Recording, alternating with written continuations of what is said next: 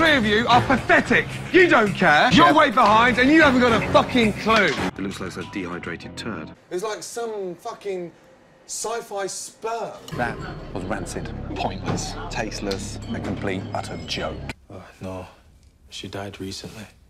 Bland as anything. And he goes like this, ah, as he's performing for the Oscars. It's disgusting. Hey, and look at me, hey, because the response is fucking shocking. No one gives a damn. Oh, what the fuck is that? Look at the state of that. Hey, get fucked, will you?